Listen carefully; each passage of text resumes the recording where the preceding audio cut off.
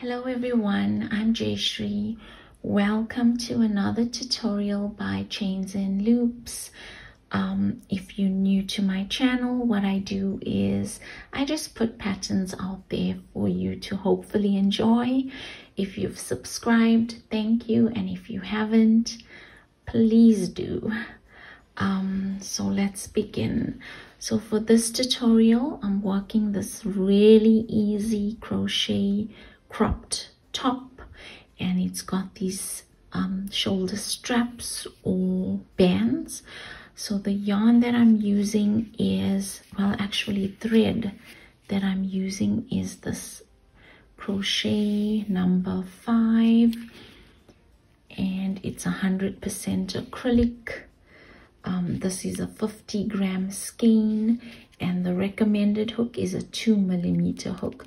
However if you're thinking oh no this is such a difficult thread to use it's it's easy because I'll be doubling up the thread. So when you double up on thread it becomes much easier to use unlike working with um, the one strand at a time.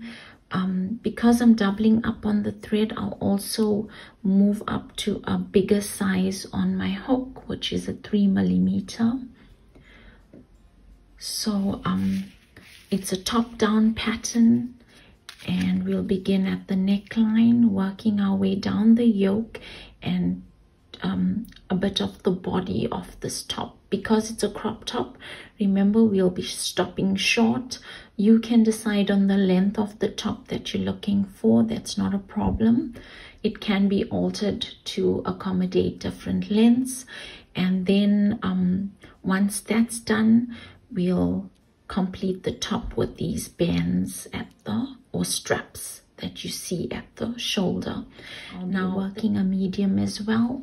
And for anyone out there looking for a different size from extra small to extra large i'll supply all those um, details you need to make the top for your size and you'll see those measurements at the top of the screens as you're working along. So let's begin. Hope you enjoy this tutorial.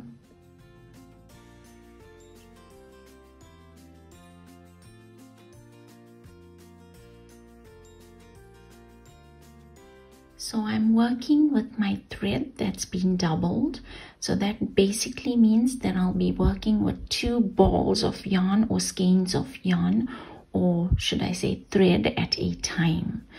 So with my thread, I'll form a slip knot using my three millimeter hook, chain 140. So that's one, two, three, four, five, six, seven, eight, nine, ten. Continue to 140 chains. I now have 140 chains. So at this point, I'll join the chain that's attached to the hook to the first chain. And when doing so, make certain that this entire chain is not tangled or twisted.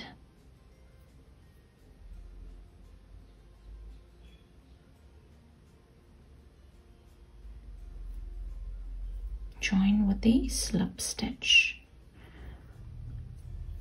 Round one, chain four, one, two, three, four. Chain four counts as a triple crochet.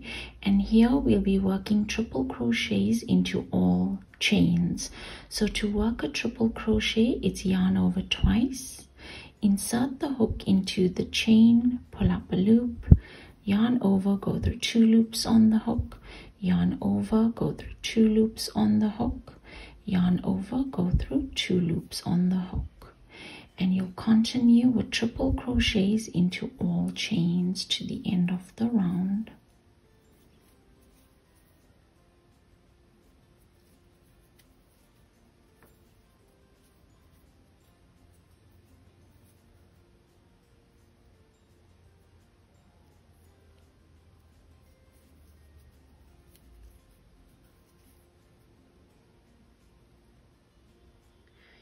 So as I'm working round one and working those stitches, at the same time I'm counting my stitches and I'll be placing four stitch markers into my stitches for round one.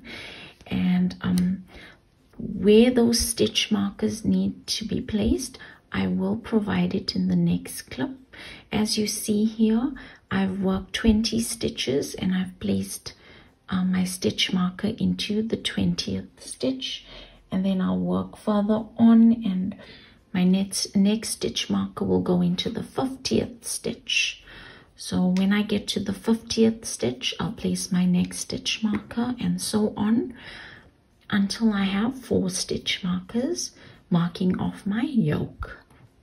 And those stitch markers marks off the four corners of the yoke, dividing the yoke into the front body, back body, and sleeves or armhole spaces.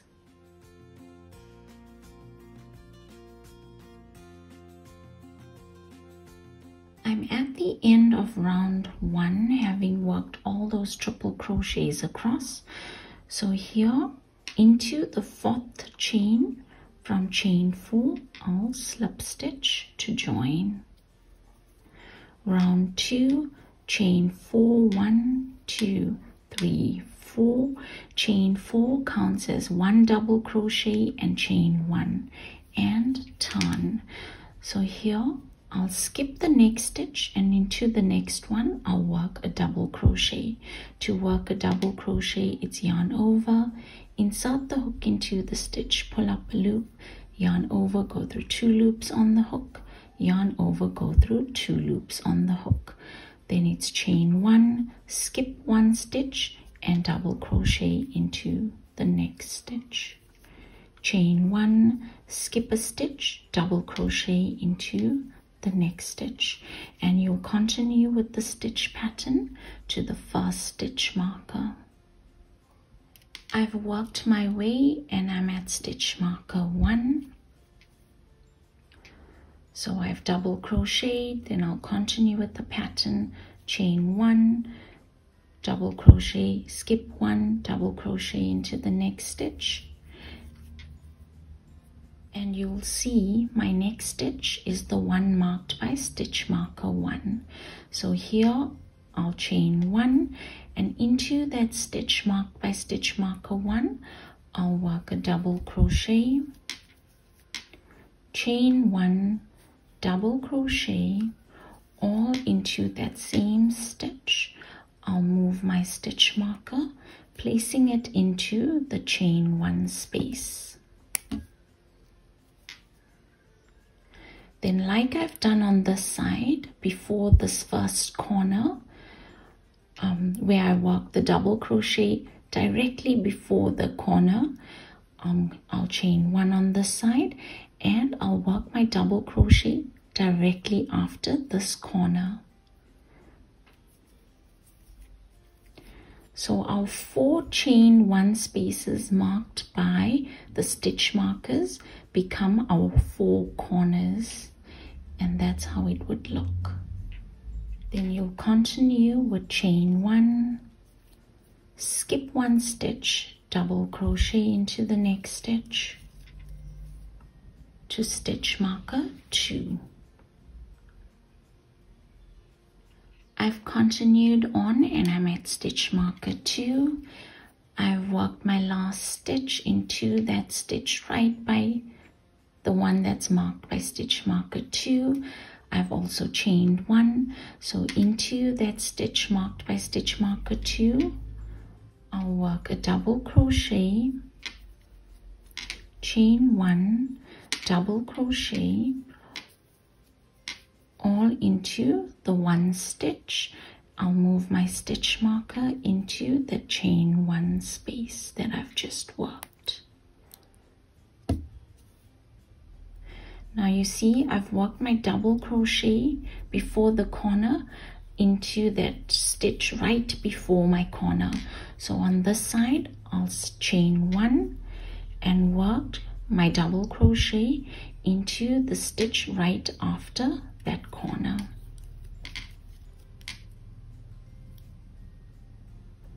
Then it's continue with the pattern with chain one skip one double crochet to stitch marker three. I've continued on and I'm at stitch marker three. So here I've worked a double crochet and I've worked a chain one and I'm at that stitch marked by stitch marker three. So into that stitch I'll work a double crochet chain one double crochet all into that stitch. I'll move my stitch marker and I'll place it into this chain one space. Then it's chain one. And uh, like I've done on the other side where I worked my double crochet directly next to my corner I'll work the double crochet into that next stitch directly after the corner then I'll continue on with my stitch pattern which is chain one skip one double crochet into the next stitch I'll continue to my fourth stitch marker. I've worked my pattern sequence and I'm at the fourth stitch marker. So I've worked the last double crochet, then it's chain one and I'm at the stitch marker. Into that stitch marked by the stitch marker, I'll work a double crochet, chain one, double crochet all into that same stitch and I'll place my stitch marker or move my stitch marker into the chain one space. Now like how I've done on this side where my double crochet is directly after this corner, I'll chain one and work a double crochet into the next stitch directly after the corner. Then I'll continue with the pattern with the chain one, skip one, double crochet to the end of the round. I'm at the end of round two with one stitch to go. So I've worked my double crochet. I've I'll chain one and I'll join into the third chain from chain four. I'll slip stitch to join. Round three, chain four, one, two, three, four. Chain four counts as a triple crochet and turn. So here we're working triple crochets into all chain one spaces and triple crochets into all stitches. So that's the double crochets from the round before. And you'll continue to the first stitch marker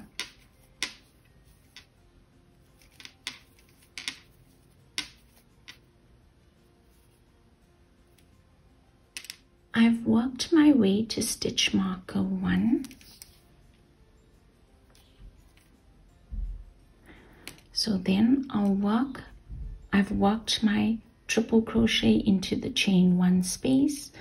I'll work a triple crochet into the stitch just before the chain one space marked by my stitch marker. Into that chain one space I'll work a triple crochet chain one triple crochet all into that chain one space. I'll also replace that stitch marker into the chain one space that I've just worked. And then it's a triple crochet into that triple crochet just after the chain one space. And I'll continue with my pattern working triple crochets into the chain one spaces and triple crochets into all stitches. To stitch marker 2 I'm at stitch marker 2 and I've triple crochet all across. So into the chain one space marked by stitch marker two, I'll work a triple crochet,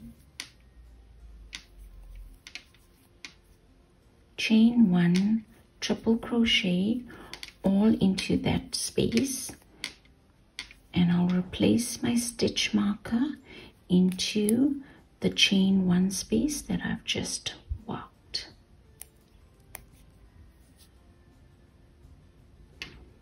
Then it's continue with triple crochets into all stitches and chain one spaces to stitch marker three.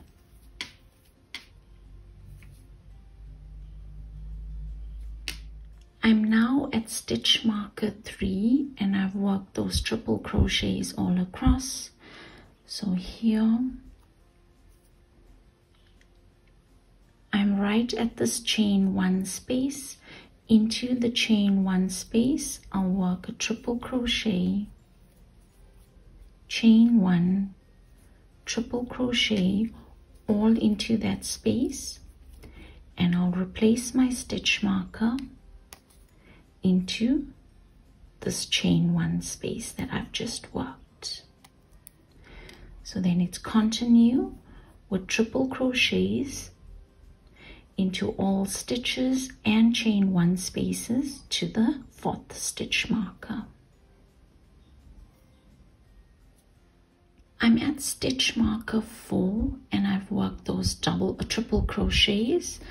So here again I'll triple crochet into that chain space triple crochet into the triple crochet just before the stitch marker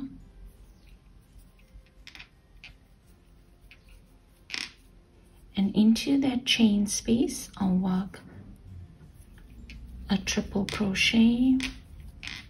Chain one triple crochet. And I'll replace my stitch marker into that chain one space. So again I'll continue with triple crochets into all stitches and triple crochets into all chain spaces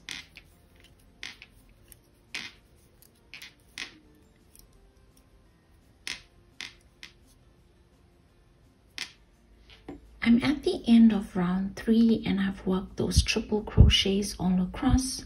So to complete the round, it's into the fourth stitch from chain four, slip stitch to join. So I've continued on completing the yoke.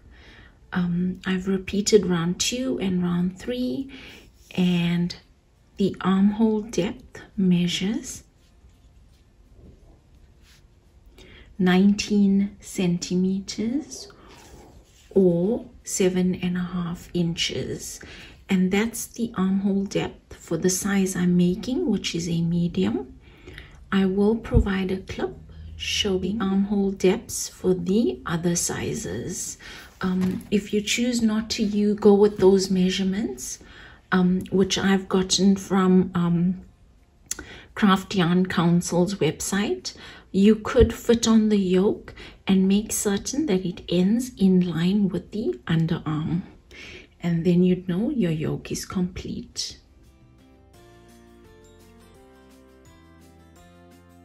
We'll now continue on with the body. I've chained four and worked triple crochets all across to that first stitch marker.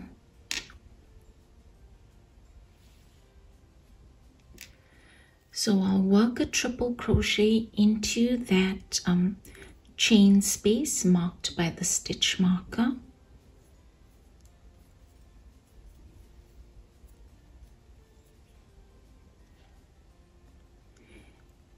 And then it's chain three, one, two, three, and I'll join to stitch marker two on the other side, skipping the stitches in between. I'll join into that space marked by the stitch marker with a triple crochet.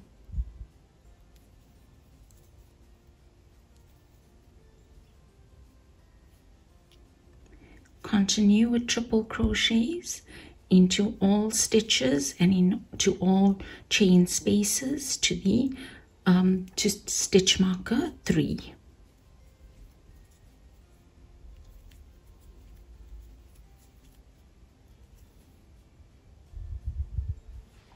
I've worked my way to the third stitch marker. I'll work a triple crochet into that stitch marked by the third stitch marker.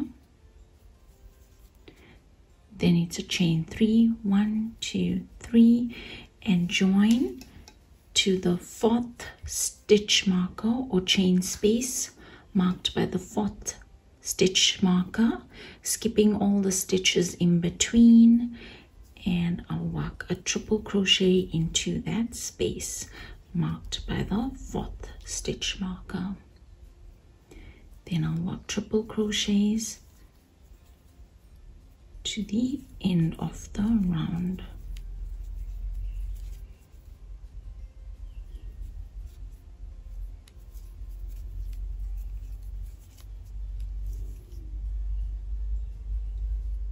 I've completed round one working triple crochets to the end and I've slip stitched into the fourth chain from chain four to join. So I've continued on with the body and I've repeated round two and three just as I had done for the yoke. Um, I've worked the body to just below the bust because it is a crop top. So work to the length that you're looking for by repeating round two and round three. And um, I just fastened off and cut off the excess yarn. Don't forget to um, continue with the pattern sequence like you're following your round of triple crochets and then it's your round of double crochets chain one skip one double crochet just to continue with that sequence. Moving on to the shoulder strap or band.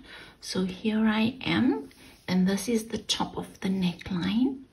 If you look at it, I hope that it's clearer enough. So here, if you look at my stitch pattern, and um, you'll see round two is clearly visible you'll find that double crochet chain one double crochet where we had had our stitch marker so and into that right at the top you'll find a stitch a triple crochet so I'm going to mark off that stitch that's just to give me that's my guide for the band and now here you'll decide on the uh, width of band or strap you're looking for. So I'm just going to use five stitches for mine. You could go up to seven or even nine to make it any wider. So as I said, I'm going for five stitches and that's the width I'm looking for. So on either side of that stitch marker, I'll count one, two stitches on the one side, and I'll place my stitch marker and then it's one two and into that stitch I'll place my stitch marker I can remove the center stitch marker as it's no longer needed and that's going to be the width of my band. So it's one two three four five stitches. Okay so attach your yarn to the first stitch marker on one side.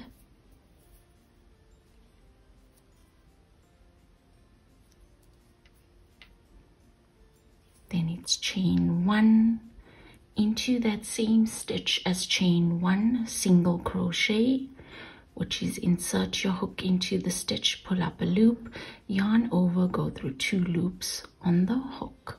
And then it's work continue to work single crochets into the next few stitches to the next stitch marker. So that for me in total would be five stitches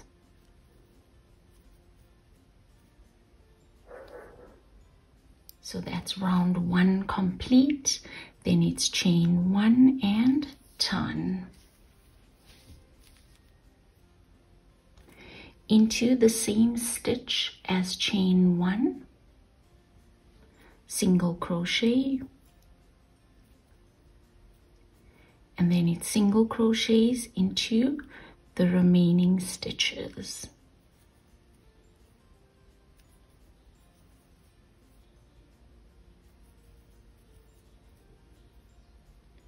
that's round two complete. And here on after until we reach the length that we're looking for we'll continue to repeat round two which was the chain one turn single crochet into the same stitch as chain one single crochet into the remaining stitches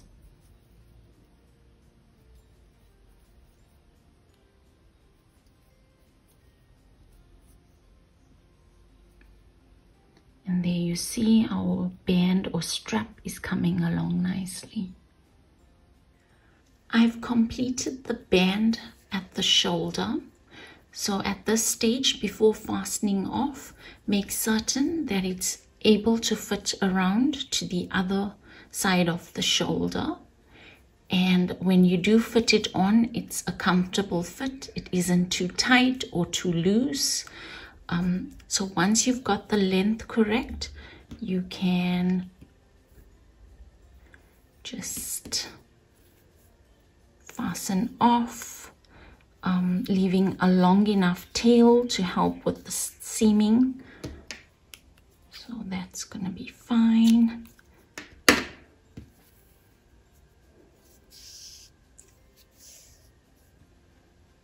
So with your yarn needle attached to the thread on the tail end of the thread, you'll join from the one side of the shoulder to the next, centralizing it to that, um, the stitch that's um, right there into that chain, uh, uh, sorry, straight in line with the chain one. We're going to centralize that and I'll just seam the band to the shoulder.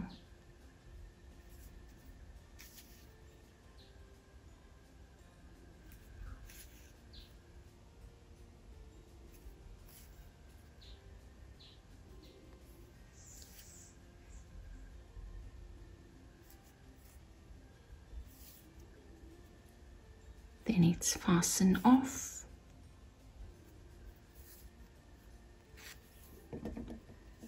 And that's done.